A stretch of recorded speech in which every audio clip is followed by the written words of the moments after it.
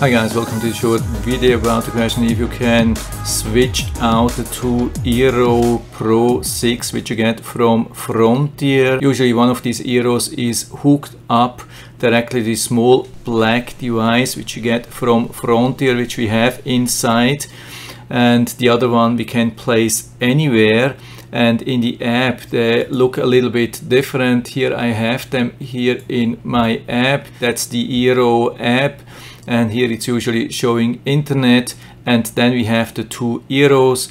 And here on top we have the one which is connected to the internet. And down here we have the other one which is not connected with the ethernet cable and just working like as a repeater Wi-Fi repeated something like that. Back to the question can we switch them out if you want to do that? For some reason maybe there is some problem and you want to test if it would work better the other way around if you place the other one which you currently use as a repeater here and connect it to this black Frontier device and put this one uh, to a remote location. I have done this and I can tell you yes this is working and you don't have to do anything you don't have to configure anything the two Eeros which you get they are exactly the same and they have the same configuration so you can hook any one of them up uh, directly with an ethernet cable to the black device which you have inside of your home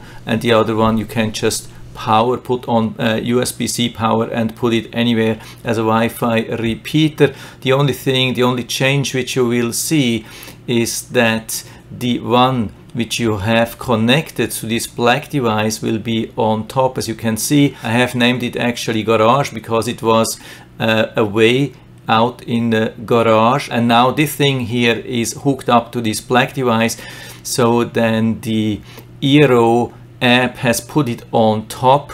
And for some reason doesn't show Wi-Fi. But of course it's also emitting some Wi-Fi.